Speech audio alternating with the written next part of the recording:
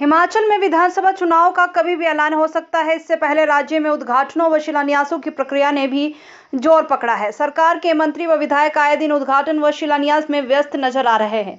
नाहन के भाजपा विधायक, बीजेपी के वरिष्ठ नेता डॉक्टर राजीव बिंदल ने आज नाहन विधानसभा क्षेत्र के काला आम सेनवाला, सतीवाला, रामपुर, भारापुर को करोड़ों रुपए की सौगात दी। इस दौरान विधायक ने कई विकासात्मक योजनाओं के उद्घाटन व शिलान्यास किए।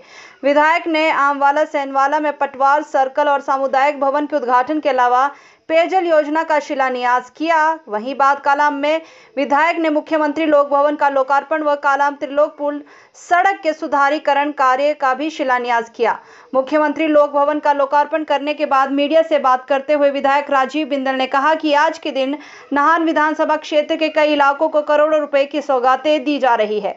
उन्होंने कहा कि जयराम सरकार ने जहाँ कालाम को मुख्यमंत्री लोक भवन की सौगात दी है, वहीं कालाम से शक्तिपीठ त्रिलोकपुर सड़क में सुधारीकरण के लिए छह करोड़ रुपए के बजट उपलब्ध करवाया है। नाहन विधानसभा क्षेत्र के लिए आज का दिन बहुत भाग्यशाली दिन है। प्रातः काल से उद्घाटन शिलान्यास का दौर चला है। इस समय हम मुख्यमंत्री लोक भवन में खड़े हैं। यह शानदार भवन हमारी सरकार, बीजेपी की सरकार, जयराम ठाकुर सरकार की देन है। आज प्रातः लगभग एक करोड़ रुपए की पेयजल योजना का शिलान्यास किया, एक पटवार सर्कल का उद्घाटन किया।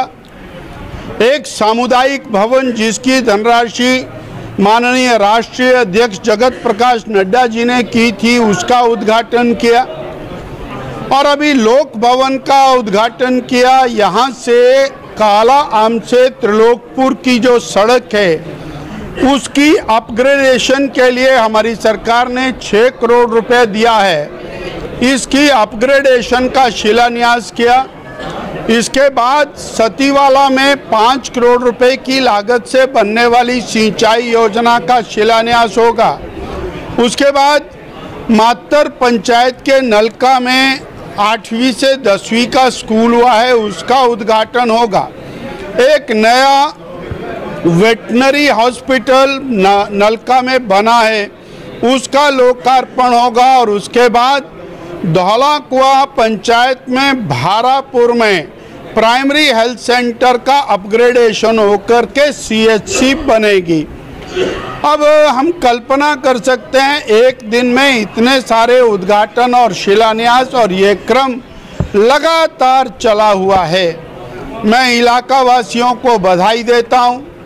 श्री नरेंद्र भाई मोदी की सरकार, श्री जयराम ठाकुर की सरकार, बीजेपी सरकार का धन्यवाद करता हूँ। पिछले पाँच साल के अंदर अनेक अनेक महत्वपूर्ण संस्थान हमारे नाहन विधानसभा क्षेत्र में बने